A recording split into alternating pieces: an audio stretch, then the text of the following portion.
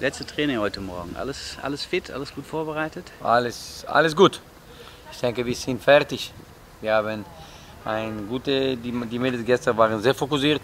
Wir waren, wir waren die alle vorsehen, zwei Set.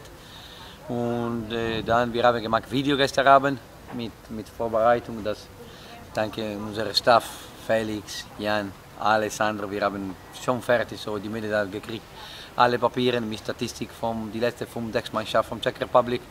Und wir sind fertig. So, wir, ich denke, die Mannschaft ist, ist gut vorbereitet. Wir müssen nur fangen an die Spiele.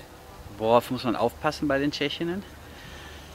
Ja, ist ein, mit Sicherheit ist eine, ist eine Match rein, rein raus. So mhm. ist immer schwierig. So, ich denke, dass natürlich wir sind ein bisschen Favoriten. Mhm. Das bedeutet, dass die Tschechen spielen mit Sicherheit mit mehr Freiheit.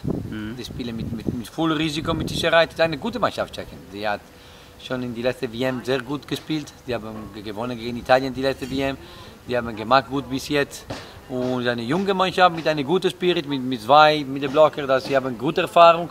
Mhm. Und sie haben eine gute Libero und sie, haben, sie sind eine große Mannschaft. So, natürlich die, die besseren Greifer sind Nummer 4 und Nummer 6. Mhm. Und die kriegen viele Bälle und die Angriff hart und so. Mhm. Okay, ist eine körperlich sehr starke Mannschaft. Jetzt ist besser organisiert, jetzt spielen besser Volleyball.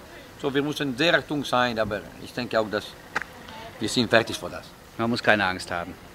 Nein, Angst wir haben nie.